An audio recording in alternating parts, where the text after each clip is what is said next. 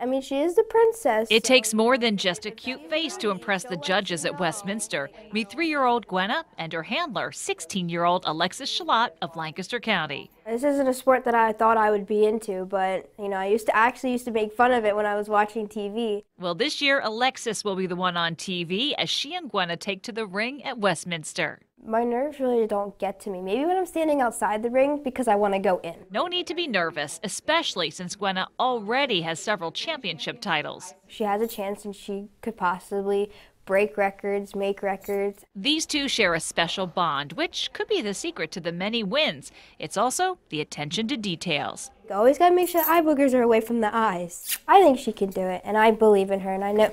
Oh, I know she believes in herself. Give me a kiss. Lori Burkholder, News 8.